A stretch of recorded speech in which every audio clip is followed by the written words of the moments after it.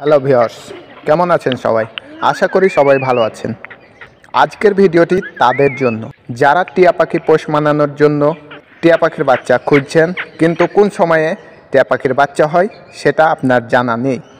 টিয়া পাখির বাচ্চা কোন মাসে পাওয়া যায়, সে বিষয়ে আজকের এই ভিডিওতে আমাদের মধ্যে অনেক নতুন পাখাল বন্ধুরা আছে। তারা টিয়া পাখি কোন মাসে ডিম দেয়, আর কোন মাসের মধ্যে টিয়া পাখির বাচ্চা পোষ মানানোর জন্য উপযুক্ত বাচ্চা পাওয়া যায়। এই সকল বিষয়গুলো আমাদের মধ্যে নতুন পাখাল ভাইরা বুঝতে পারে না। সেই জন্য তাদের নিশ্চিত ধারণা দিতে আজকের ভিডিওটি বানানো হয়েছে। নতুন পাখালরা অনেক সময় অনেক ভুল করে থাকে এই বিষয়ে।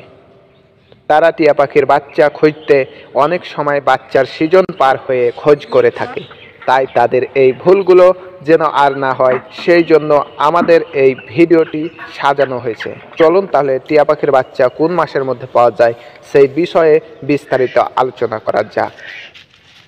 প্রাকৃতিকভাবে টিয়া পাখি জানুয়ারির শেষের দিক থেকে শুরু হয় টিয়া পাখির ডিম পাড়ার প্রক্রিয়া। মে মাসের শেষ থেকে ডিম দিয়ে থাকে।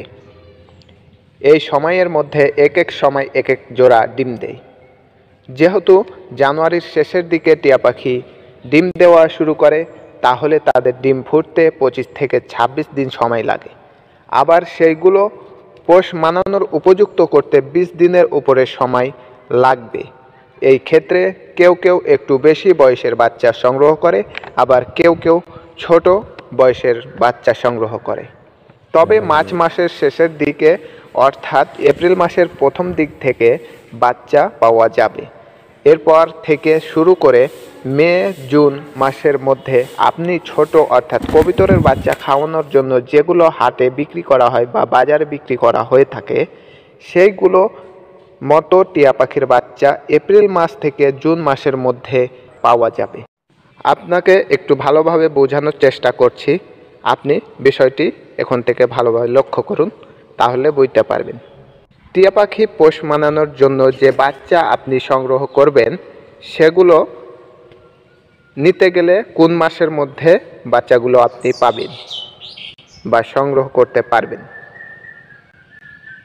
কবিতরের বাচ্চা খাওয়ানোর জন্য বা খাওয়ার জন্য যেগুলো হাটে বা বাজারে বিক্রি হয়ে থাকে, সেগুলোর মতো টিয়া পাখির বাচ্চা এপ্রিল মাস থেকে জুন মাসের শেষ পর্যন্ত পাওয়া যায়। কবিতরের বাচ্চা যেরকম উড়ন্ত হওয়ার আগেই সেগুলো বাজারে খাওয়ার জন্য বিক্রি করা হয়, সেই রকম সেই সাইজের বাচ্চা আপনি এই সময়ের মধ্যে পাবেন। আশা করি বিষয়টি সম্পূর্ণরূপে বুঝতে পেরেছেন। ভিডিওটি ভালো লাগলে ভিডিওটিতে অবশ্যই একটি লাইক করবেন এবং কমেন্টে আপনাদের মতামত জানাবেন। এরপর কীরকম ভিডিও আপনাদের মাঝে উপস্থাপন করব সে বিষয়ে আপনি কমেন্টে আপনার মতামত দিন।